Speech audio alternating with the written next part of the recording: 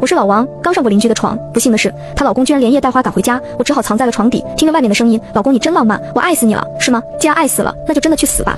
听到这句，我不禁浑身一颤，因为伴随着这句话，我还听到女主人小梅呜呜的声音，整张床也在微微晃动。那一刻，我已经可以脑补出一个画面了：小梅被压在床上死命挣扎，双脚乱踢，双手想要推开男主人大康。我屏住呼吸，完全不敢作声，更不敢贸然出去，因为大康可是个身强力壮的粗汉子，两拳就能把我打趴下，出去我就死定了。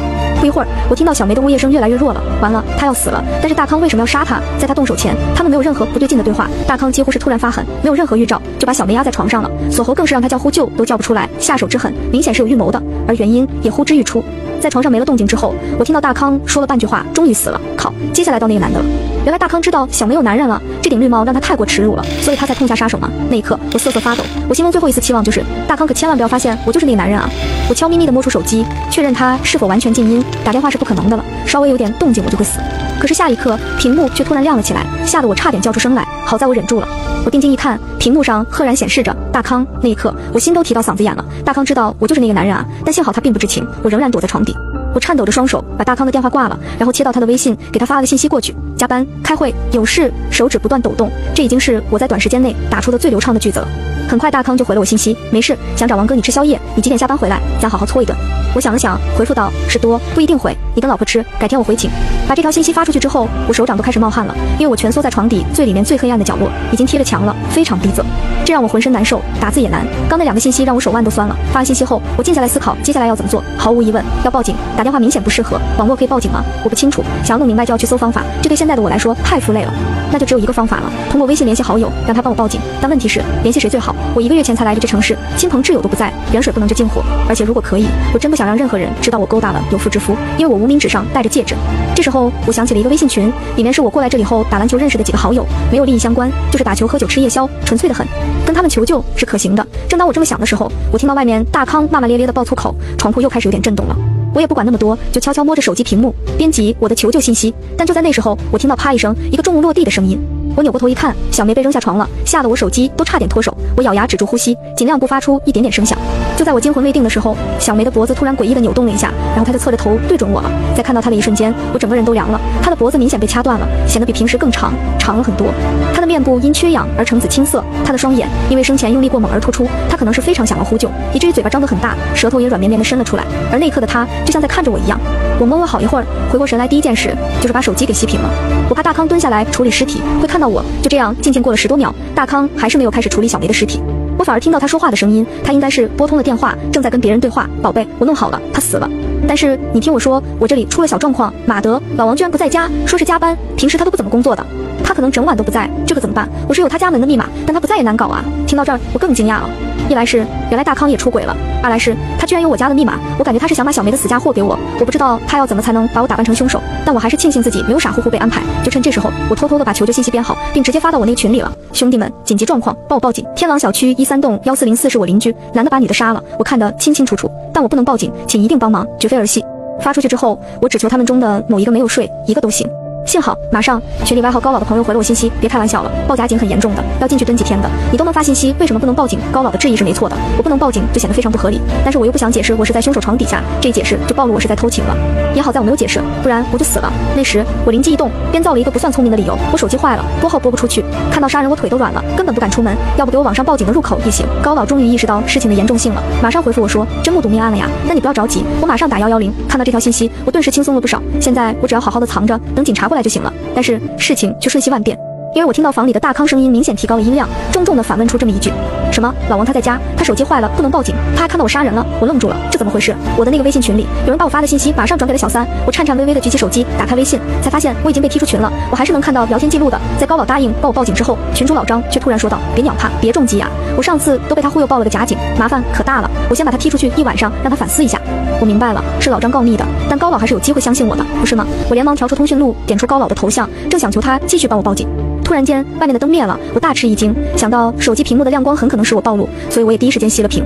然后我听到了大康的声音，已经停电了，我要启动了，你们赶紧上来，要马上处理。原来停电是他弄的，但考虑到这一层楼只有我们两个住户，就算停电了，好像也没有其他人会追究，这就很操蛋了。不过他要启动什么？在确认他没有其他动作后，我又悄咪咪的把手机解锁，然后我才发现手机居然没有信号了。大康居然有屏蔽信号的设备，他启动的就是这玩意儿。那一刻我突然觉得事情可能比他杀妻嫁祸给我更加复杂。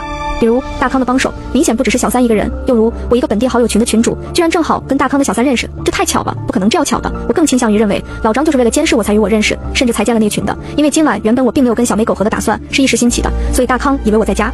随后我又听到一个古怪的声音：“大康，我们到了，一千四百零二是吧？”之所以说古怪，是因为这声音是通过莎莎的扩音器传出来的。他们用了对讲机，而这把声音听起来像是老张的。果然是他，原来他就在楼下呀！这到底是怎么样的一张大网？目的又是什么？而这时候，大康也迅速回答：门锁密码是八五零七零五，他女人的生日，你们小心点进去。我现在处理小梅的尸体。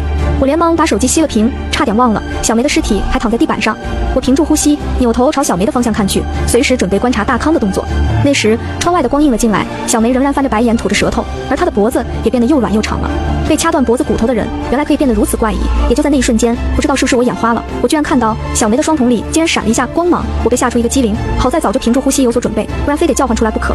也就是这个光芒之后，我发现小梅的双眼真的在直勾勾盯着我。莫非她没有死，还是说真有怨气未散这种事？就在我惊魂未定的时候，她那被拉长的脖子居然真的动了起来，连带着她的头颅也在胡乱扭动。一颗翻白眼、吐着舌头的头颅在地上被长长的脖子拖得乱动，我整个人都凉了，冷汗湿透了后背，才发现原来是大康正在把她拉走。我抹了抹额头的冷汗，悄无声息地呼出一口气。手机没有信号，高老估计也没有帮我报警，我只能趁大康处理小梅尸体的时间进行自救了。但就在我挪动身体，快要从床底出来的时候，外面又传来对讲机的声音：“大康，里面没人啊！我跟嫂子一起找了个遍，完全没找着啊！这更说明事情不对劲，老张居然是早就在楼下等着的了。”一开始我还以为老张只是盯着微信群，看来不是。三个人合谋做一件事，还停了电、屏蔽了信号。我更不信这一切只是为了杀掉我跟小梅那么简单。但我身上还有其他什么可图的东西吗？大康似乎是很生气的把小梅往地上一扔，因为我听到了砰的一声。根据声音判断，他已经不在房内了。我连忙贴着地板，悄无声息地滚了出来。然后我听到了大康大吼大叫的声音：“找清楚一点啊！刚刚他不还发信息说了吗？肯定不是为了迷惑你，就他那智商，打死也不会发发现你有什么不对劲的呀。”虽然很气愤，但我确实从来没有觉得老张有什么不对劲的地方。不是的，老公，事情确实有些不对。这会儿对讲机传来的是一个女生了，我实在想不通为什么之前老王不报警，拨号拨不出去，肯定是假。我觉得只有一种可能性，那就是他发不出声音。听到这话，我心里一惊。我抬起头环顾四周，这房间里除了床底，真没有其他藏身之地了。但是熄灯之后的房间却给我提供了另一个思路：窗户。这个房间的窗户是没有完全封死的，尤其此刻窗帘都没有拉上，对面隔空不远就是我家小阳台。难怪大康会相信我从家里透过窗户看到他杀人这么离谱的事情。说时迟，那时快，我急忙从地板上起来，一个箭步踩上飘窗，推开了窗户门。这个尺寸我能爬出去。当时我已经管不了爬出去之后要怎么办了。因为我听到门外的声音，小三已经猜中了。你说有没有可能，老王就在你房间里躲着？大康却一副不耐烦的模样回答道：“怎么可能？我有那么蠢吗？那房间就那么小，能躲个啥啊？”但是他一边那样说着话，一边却踩着他踏踏的脚步声折返到房间里来了。我只能迅速爬了出去。好在窗外是有那种突出去的楼檐，我反手关了窗，再贴着墙挪动到边边上，这样房间里就无法一眼看到我了。十六楼啊，外面还吹着微风，我只往下看了一眼，脚都发软了。可待在房间里肯定是死刑无疑了，倒不如躲在这儿赌一把。随后，我听到大康在房间里到处乱翻的声音，当然还夹杂着他的骂骂咧咧。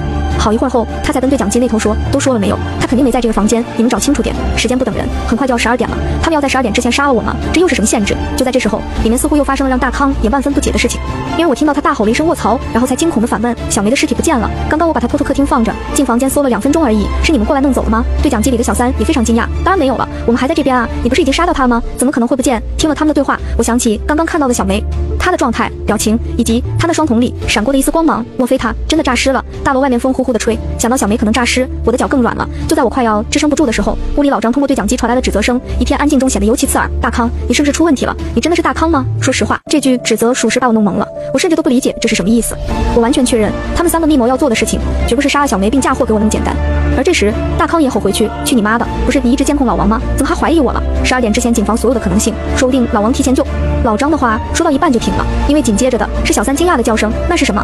接着便没有了声响。不用说也知道，我家里一定发生大事了。大康自然也是这样想的，他对着对讲机问了几句发生什么事了，但那边始终没有任何回应。